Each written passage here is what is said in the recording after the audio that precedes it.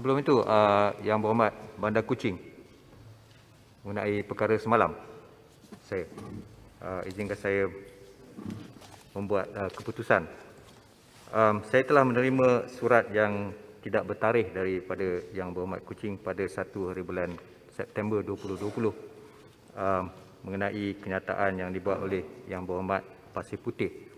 Um, semasa perbahasan rang undang-undang Akta Pengangkutan Jalan bracket pindaan 2020 um, mengenai pemandu mabuk yang Berhormat Pasir Putih telah menyatakan pandangan dan kefahaman beliau melalui kacamata Islam. Pandangan itu merupakan sebahagian daripada kepercayaan dan akidah Islam.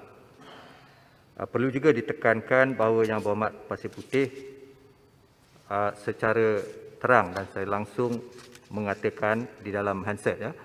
Uh, bahawa dia tidak sama sekali. Dia saya petik dia tidak sama sekali berhasrat untuk memburukkan mana-mana agama.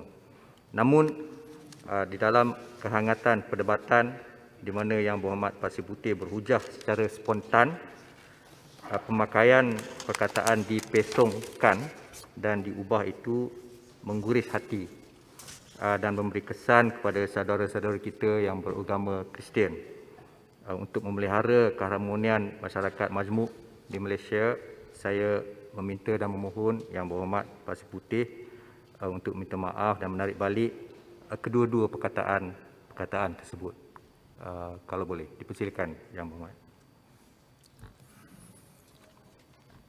Assalamualaikum warahmatullahi wabarakatuh. Salam sejahtera.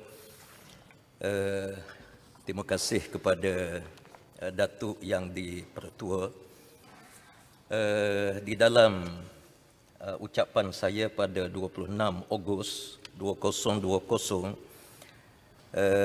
yang uh, membabitkan perbahasan uh, RUU uh, pengangkutan uh, yang telah dibentangkan Eh, di dalam ucapan tersebut saya ada menyebut uh, perkataan pesung uh, dan uh, yang berhormat daripada beruas uh, minta saya uh, dalam handset menyebut itu saya harap perkataan seperti pesung ini jangan digunakan. Uh, saya sangat menghormati rakan-rakan uh, yang uh, memeluk agama yang berbagai-bagai Uh, namun untuk mengelak kekeliruan uh, yang berlaku, uh, suka saya sebut bahawa isu yang membabitkan Bible bukan saja isu yang membabitkan penganut-penganut agama Kristian.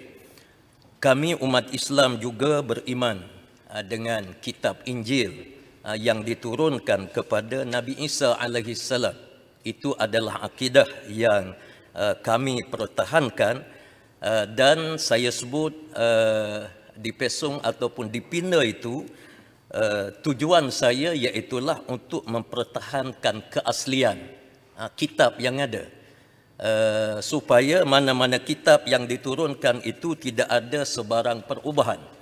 Uh, namun uh, di dalam isu yang menyentuh arak uh, apabila uh, yang berhormat beluran uh, beruas sorry Uh, beruas mengatakan bahawa uh, secara umumnya di dalam uh, ajaran Kristian dibenarkan minum arak sedangkan mengikut fakta akademik di dalam agama Kristian ada tiga aliran berkenaan dengan arak di mana aliran yang pertama iaitulah prohibitionist iaitulah aliran yang tidak membenarkan minum arak sama sekali Uh, ini adalah fakta akademik dan yang keduanya iaitulah abstentionist iaitu aliran mengatakan arak boleh diminum tetapi sangat jijik, keji dan perlu dijauhi.